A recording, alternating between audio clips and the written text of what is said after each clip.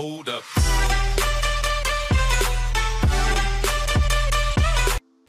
If you guys want to get your hands on cheap modded accounts, special gear, and much, much more, check out Killer Mods in the description and use the code GC10 to get 10% off at checkout.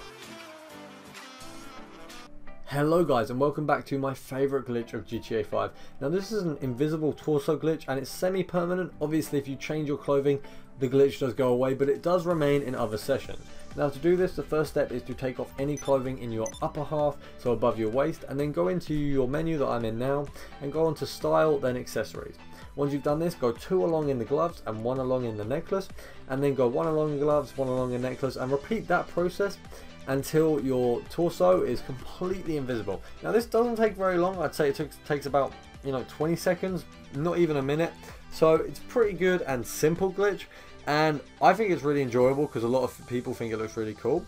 So if you have enjoyed this video, make sure to drop a like, I do really appreciate them. If you are new around here, make sure to subscribe, I bring out GTA content every day and if you are having your summer holidays, make sure you carry on enjoying those. I hope you guys are enjoying them and I'll see you guys in the next video.